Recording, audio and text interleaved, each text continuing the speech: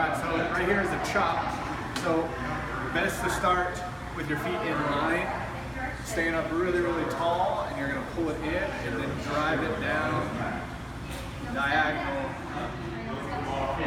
across that body again, trying to stay up really tall the whole time.